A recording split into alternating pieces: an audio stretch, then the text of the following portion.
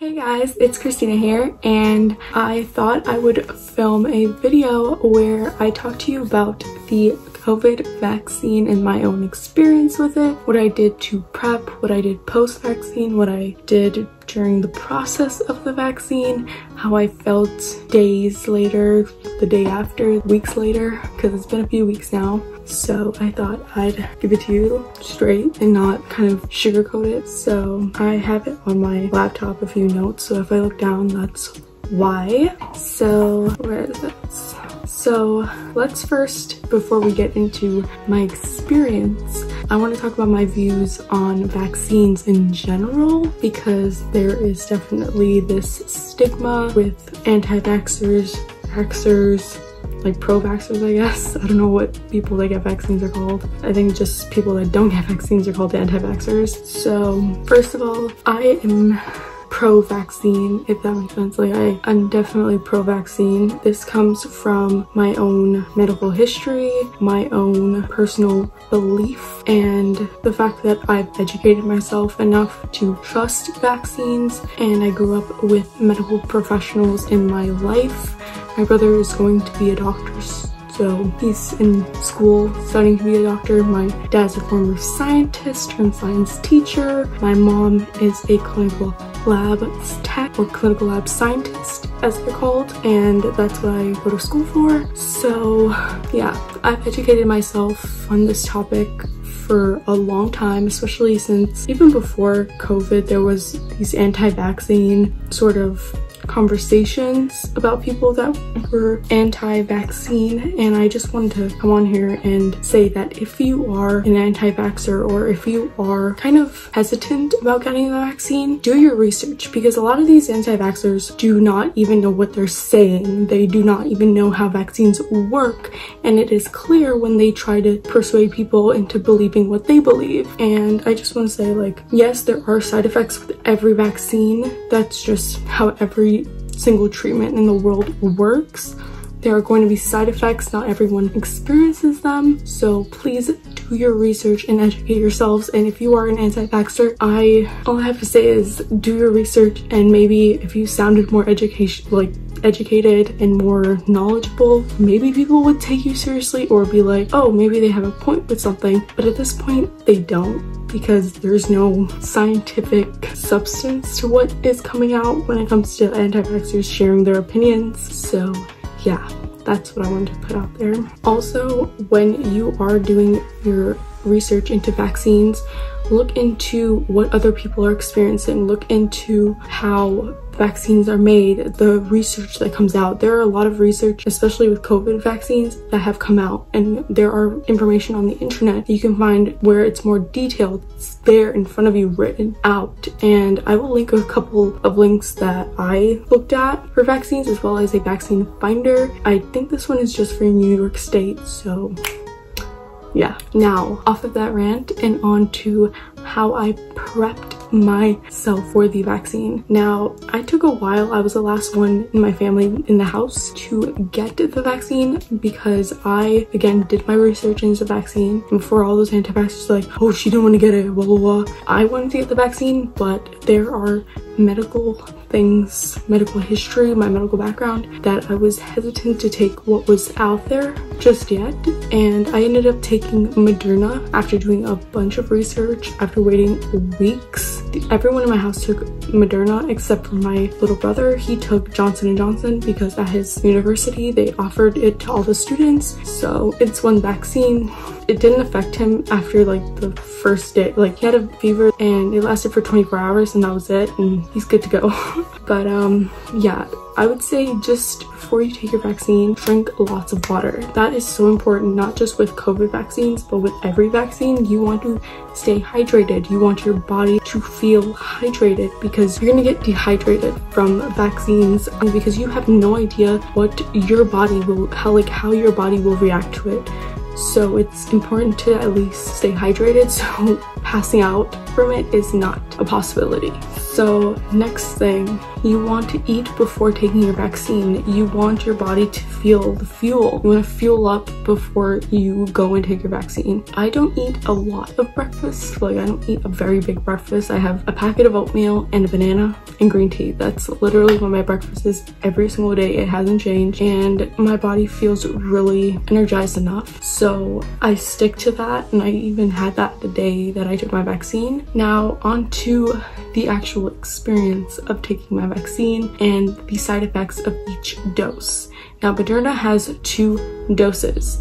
And yes, you take this vaccine every year now. It is just like the flu shot. It is nothing different from the flu shot in the sense of you having to take it every year. I saw a lot of complaints when people were hearing that they had to take it every year. If you're a, if you're someone who takes the vaccine every year, if you take the flu shot, it's just like taking the flu shot. There's no complaining. It saves your life. Vaccines save your life, okay? Okay, now when I took my first dose, I felt very strange. I don't know if it was the placebo of the fact that it was my first dose, but I did feel very strange after. I can't really explain it in terms of like words to explain it, but I felt very, I felt like my body was reacting to it right away, put it that way. I did not move for 15 minutes once I got back in the car and we were driving for like 15 minutes because we were going shopping after. Now, you are going to feel sore in that spot Again, if you had the flu vaccine, you know what I'm talking about, okay? The flu vaccine, you still get sore just like the COVID vaccine, okay? I compare it to the flu vaccine because the vaccine is, you have to get two, sometimes people get it at the same time, like same day, but you get two doses is what I'm trying to get at and you take it every year. So my arm was sore for three days. It wasn't as like very, very like sore, like I couldn't move my arm. Like a lot of people, like my mom experienced that. I think because mainly she worked in the hospital, so her body, and she was like one of the first groups of people to get it in the first place. So I think that's why her reaction was so drastic compared to like my dad, my brothers and I. And it was sore for about three days days. I was fine working out on the third day. Didn't like after the third day. Now for my girls out there, if you're a guy, you can go to this timestamp because we're gonna talk menstrual cycle because oh my god if you're a girl and you took this vaccine you know what i'm getting at. Or maybe you don't but if you took this vaccine your period hurt that first day okay? Your period hurts so bad. And this is coming from someone who I've had my periods for a very long time, like almost two decades. And I can tell you like it is a lot. It is a lot. I got my period very young and I can tell you that it is a lot okay? It is very very painful. And I know I'm probably scaring a lot of people who haven't taken it a lot of females especially but it is totally worth it in the end. You know the first day is like the worst pain ever. And then like for me the second and third day, I didn't feel any pain from cramps. I don't know if it's because my arm was hurting more.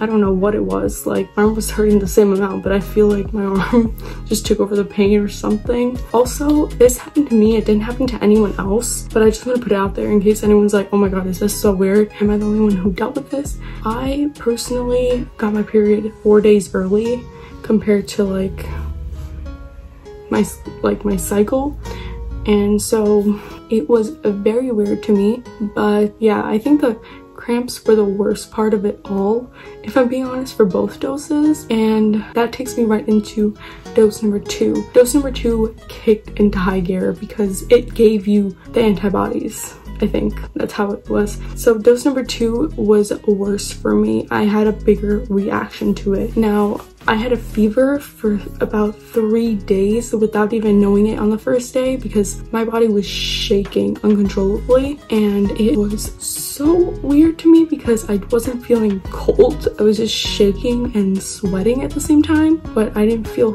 freezing cold. Like I had my AC on and everything. And I know people are gonna be like, that's where you were like freaking out. Like I was sweating still, but I was shaking. My body was shaking. And then the second day is when I started feeling a little cold. And third day, I was like recovering. I was getting back to normal. Now my cramps again were terrible, but it was only the first day and I felt a little lightheaded for a few days, like about five days. I was able to work out, but I was so just like it took me longer to work out because I was taking more breaks. And if you know me, you know that fitness is like my everything. So I was like freaking out more about that than anything else. And the area where the shot was was very stiff a specific spot in my arm. Other than that it was fine like after three days again. Now when i took my shot i drank a lot of electrolytes and i did a lot of those exercises. I'll put up a tiktok right here for you if you want to see it. But yeah i did a lot of like small exercises. My dad who took it before me he was like oh like when i went because he's doing instruction for a place i know he has like all these side projects but um he took his vaccine and then he went to go work on a house that he is working on for his like side project and he was like oh like when i was like moving my arm like after that day i didn't feel anything. I was like okay well i can't go lifting a hammer and hammering down somewhere like it's just not gonna happen. But um i tried to do those exercises and those helped a lot. All right so that is it for this video. It was a little longer than my usual videos but I really wanted to film this because I didn't get to watch any real videos on what was going on. Um, I did more research prior to filming this video and before. Like I planned on doing this video since before I took my vaccine and I didn't see any videos online now there's so many. I guess because more people are getting vaccinated now and I just wanted to put this out there. I talked to my cousins about it and they were like super encouraging about it so I wanted to just come on here and share my experience. For anyone hesitant, anyone who is just not sure. Also, if your family is not vaccinated or don't want to get the vaccine, please tell them to get vaccinated because they need to protect themselves. Because guess what? All those people that this is probably going to trigger a lot of people. I should put a trigger warning right now um, but a lot of people that are complaining that we can't get back to normal or that they have to wear masks are the same ones that don't want to get the vaccine. So yeah, you guys are causing problems for yourself because I can go places without my mask. Obviously I still wear it because I don't trust people, but that's just my own personal thing. There are other people that think the same as me. I just want to put that out there. Please get vaccinated. Do not be stupid. Do not risk your health because you decide that your five brain cells are smarter than scientists, okay? Okay. Yeah, that probably triggered a lot of people. But yeah, anyways, I'm gonna head out because I gotta go. I will see you guys soon. Bye!